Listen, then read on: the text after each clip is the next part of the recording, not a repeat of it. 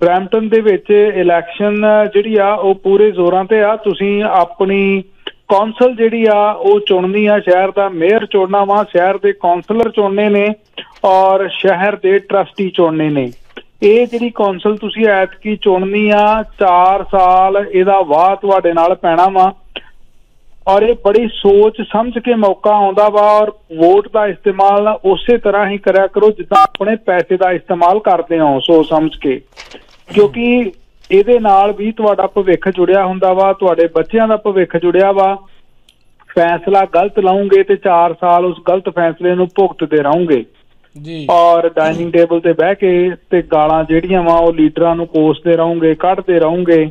ਪਰ ਆਪਣਾ ਕਸੂਰ ਨਹੀਂ ਮੰਨਣਾ ਤੁਸੀਂ ਪਰ ਸੋ ਐਸ ਕਰਕੇ ਫਿਰ ਐਤਕੀ ਬਾਰ-ਬਾਰ ਤੁਹਾਨੂੰ ਇਹ ਰੌਲਾ ਪਾਉਨੇ ਆ ਕਿ ਵੋਟ ਜਿਹੜੀ ਆ ਉਹ ਬੜੀ ਸੋਚ ਸਮਝ ਕੇ ਪਾਉਣੀ ਆ ਤੁਸੀਂ ਚਾਹੇ ਤੁਸੀਂ ਟਰਸਟੀ ਚੁਣਨਾ ਵਾ ਚਾਹੇ ਰੀਜਨਲ ਕਾਉਂਸਲਰ ਚੁਣਨਾ ਵਾ ਚਾਹੇ ਕਾਉਂਸਲਰ ਚੁਣਨਾ ਵਾ ਜਾਂ ਫਿਰ ਤੁਸੀਂ ਆਪਣਾ ਮੇਅਰ ਚੁਣਨਾ ਵਾ। ਸੋ ਗੱਲਬਾਤ ਮੈਂ ਮੁਖੀ ਜੀ ਸ਼ੁਰੂ ਕਰੂੰਗਾ ਅੱਜ ਥੋੜੀ ਜੀ ਕਿ ਜਿਹੜੇ ਮੇਅਰ ਦੇ ਕੈਂਡੀਡੇਟ ਨੇ ਜੀ। ਉਹ ਬੌਬ ਦਸਾਂਝ ਹਰੀ ਮੇਅਰ ਦੀ ਕੈਂਪੇਨ ਪੂਰੇ ਜ਼ੋਰ ਤੇ ਕਰ ਰਹੇ ਨੇ ਨਿੱਕੀ। ਕੌਰ ਹਰੀ ਕਰ ਰਹੇ ਨੇ ਵਿਦਿਆ ਸਾਗਰ ਹਰੀ ਲੱਗੇ ਹੋਏ ਨੇ ਔਰ ਪੈਟ੍ਰਿਕ ਬ੍ਰਾਊਨ ਹਰੀ ਕਰ ਰਹੇ ਨੇ। ਸੋ ਗੱਲ ਮੈਂ ਸ਼ੁਰੂ ਕਰਦਾ ਅੱਜ ਥੋੜੀ ਜੀ ਬੌਬ ਦਸਾਂਝ ਹਰਾ ਤੋਂ। ਬੌਬ ਦਸਾਂਝ ਹਰਾ ਮੈਂ ਇੱਕ ਦੋ ਟਿਕਟੌਕ ਤੇ ਵੀਡੀਓ ਦੇਖੇ ਨੇ ਜਿਹਦੇ ਵਿੱਚ ਉਹ ਆਪਣਾ ਰੇਡੀਓ ਟੀਵੀ ਤੇ ਜਾ ਕੇ ਪ੍ਰਚਾਰ ਕਰ ਰਹੇ ਨੇ ਕਿ ਜਿਹੜੀ ਨਿੱਕੀ ਕੌਰ ਆ ਜੀ। ਉਹਨੂੰ ਜੌਬ ਤੋਂ ਕੱਢ ਦਿੱਤਾ ਗਿਆ। ਫਿਰ ਕਹਿੰਦੇ ਨੇ ਜੀ ਵੀ ਉਹਨਾਂ ਨੇ ਜੌਬ ਲੈ ਲਈ ਤੇ ਉਹਨੇ ਜੌਬ ਜ਼ਿਆਦਾ ਪੈਸਿਆਂ ਦੀ ਲੈ ਲਈ। ਅੱਛਾ ਜੀ। ਸੋ ਪਹਿਲੀ ਗੱਲ ਤਾਂ ਮੈਂ ਇਹ ਗੱਲ ਆਪਣੇ ਦਰਸ਼ਕਾਂ ਨੂੰ ਤੇ ਸਰੋਤਿਆਂ ਨੂੰ ਦੱਸ ਦੇਣੀ ਚਾਹੁੰਦਾ ਵਾਂ ਕਿ ਬੜਾ ਸੌਖਾ ਹੁੰਦਾ ਵਾ ਬੰਦੇ ਲੀਡਰ ਦਾ ਪਛਾਣ ਕਰਨੀ। ਜਿਹੜਾ ਲੀਡਰ ਇਲੈਕਸ਼ਨ ਹਜੇ ਇਲੈਕਟ ਨਹੀਂ ਹੋਇਆ ਹੋਣਾ ਵੀ ਨਹੀਂ। ਔਰ ਉਹ ਪਹਿਲਾਂ ਹੀ ਝੂਠ ਦੇ ਸਿਰ ਤੇ ਆਪਣੀ ਨੀਂਹ ਰੱਖਣ ਡਿਆ ਵਾ ਝੂਠ ਬੋਲ ਕੇ ਤੇ ਲੋਕ ਆਪਣੀ ਕੌਮ ਆਪਣੀ ਪੰਥ ਨੂੰ ਗੁੰਮਰਾਹ ਕਰ ਰਿਹਾ ਵਾ। ਜੀ। ਉਹ ਆਪਣੇ ਪੰਥ ਦਾ ਆਪਣੀ ਕੌਮ ਦਾ ਆਪਣੀ ਆਉਣ ਵਾਲੀ ਪੀੜ੍ਹੀ ਦਾ ਸਗਾ ਕਿੱਥੋਂ ਹੋ ਜਾਊਗਾ? ਦੇਖੋ ਬੌਬ ਜੀ। ਦਸਾਂਝਰਾਂ ਦੀ ਇਸ ਗੱਲ ਦਾ ਜਵਾਬ ਮੈਂ ਦੇ ਦਿੰਦਾ ਵਾਂ ਕਿ ਬੌਬ ਜੀ ਜੇ ਗੱਲ ਗਲਤ ਆ ਤੇ ਸਟੂਡੀਓ ਚ ਆ ਕੇ ਤੇ ਜਾਂ ਕਿਤੇ ਵੀ ਜਿੱਥੇ ਮਰਜ਼ੀ ਡਿਬੇਟ ਰੱਖ ਲਓ ਨਿੱਕੀ ਨਾਲ ਡਿਬੇਟ ਕਰ ਲਓ।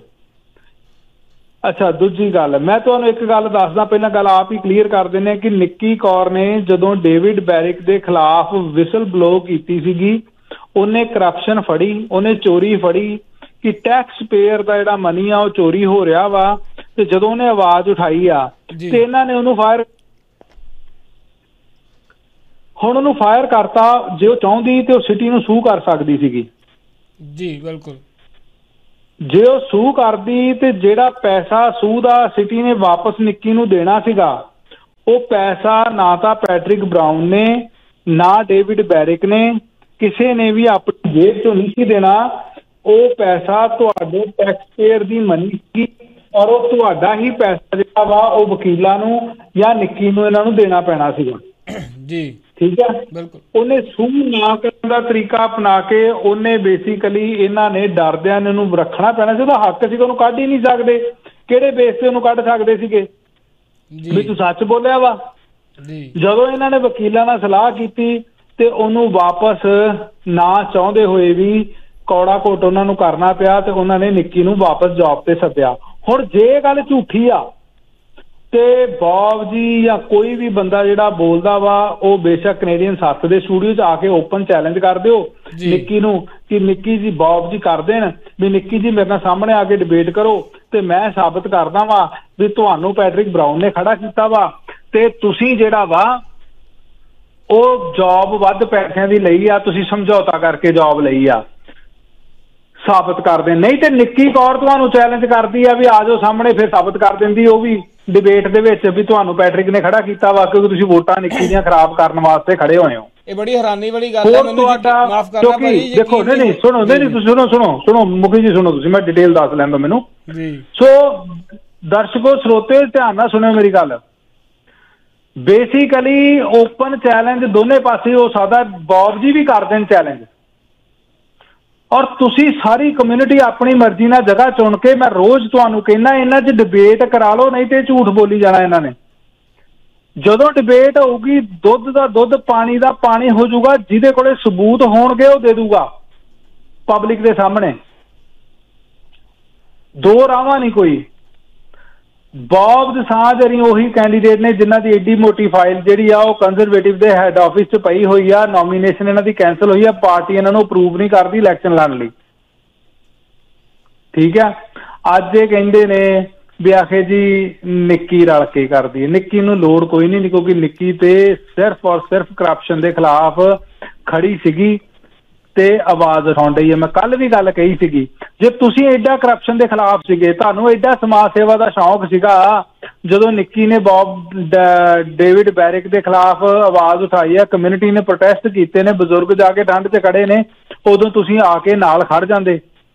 ਉਦੋਂ ਦਾ ਤੁਸੀਂ ਸਾਰਾ ਸਾਲ 2 ਸਾਲ ਹੋ ਗਏ ਨੇ, ਤੁਸੀਂ ਇੱਕ ਤੁਹਾਡੇ ਮੂੰਹ ਲਫ਼ਜ਼ ਨਹੀਂ ਨਿਕਲਿਆ ਵੀ ਸਿਟੀ ਦੇ ਵਿੱਚ ਗਲਤ ਹੋ ਰਿਹਾ ਵਾ।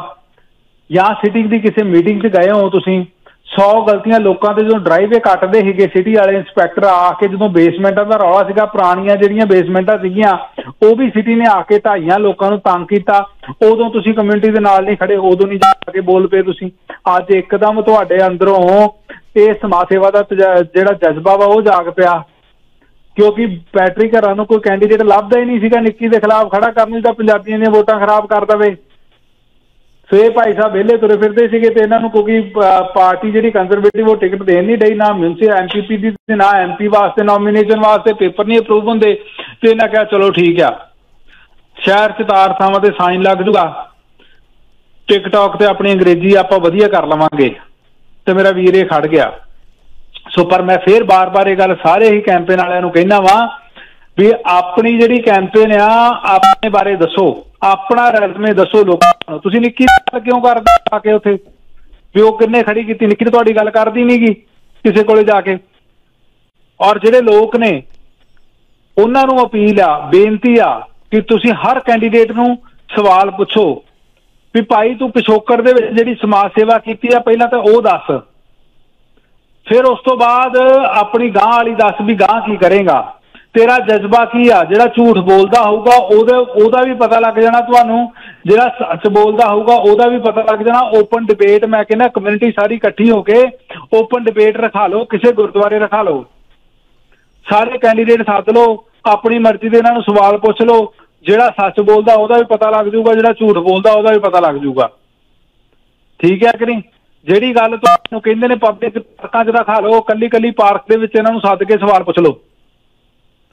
ਜੀ। ਜਦੋਂ ਆਪਾਂ ਸ਼ੋਅ ਕਰਨਾ ਨਾ, ਹਰ ਇੱਕ ਆਪਣਾ ਸ਼ੋਅ ਆ, ਉੱਥੇ ਹਰ ਇੱਕ ਨੇ ਆਪ ਬੋਲਣਾ। ਜੇ ਮੈਂ ਬੋਲਣਾ, ਮੈਂ ਆਪਣੀ ਤਾਰੀਫ ਕਰ ਲੈਣੀ ਹੈ ਬਾਬੂ ਜੀ ਨੇ ਬੋਲਣਾ ਬਾਬੂ ਜੀ ਨੇ ਆਪਣੀ ਤਾਰੀਫ ਕਰ ਲੈਣੀ ਆ।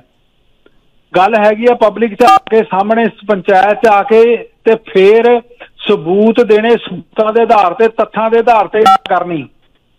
ਤੱਥਾਂ ਦੇ ਆਧਾਰ ਤੇ ਗੱਲ ਕਰਨ ਦੀ ਹਿੰਮਤ ਹਰ ਇੱਕ ਦੇ ਵਿੱਚ ਹੈ ਨਹੀਂ ਕਿ ਜੇ ਹੈਗੀ ਆ ਤੇ ਫਿਰ ਓਪਨ ਸੱਦਾ ਸਾਰਿਆਂ ਨੂੰ ਹੈਗਾ ਵਾ।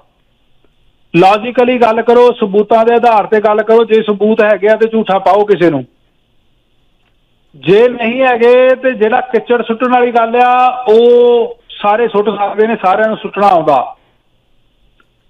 ਸੋ ਐਸ ਕਰਕੇ ਬੇਨਤੀ ਸਾਰੇ ਕੈਂਪੇਨ ਵਾਲਿਆਂ ਨੂੰ, ਬਾਬ ਜੀ ਨੂੰ ਵੀ ਇਹੋ ਹੀ ਆ, ਵਿਦਿਆ ਸਾਗਰ ਜੀ ਨੂੰ ਵੀ ਇਹੋ ਹੀ ਆ, ਨਿੱਕੀ ਕੌਰ ਨੂੰ ਵੀ ਆ, ਤੇ ਪੈਟ੍ਰਿਕ ਬਰਾਊਨ ਨੂੰ ਆ, ਜਿੰਨੇ ਕੈਂਡੀਡੇਟ ਆ, ਭਾਈ ਆਪੋ ਆਪਣਾ ਰੈਜ਼ਮੇ ਲੋਕਾਂ ਦੀ ਅਦਾਲਤ ਦੇ ਵਿੱਚ ਪੇਸ਼ ਕਰੋ।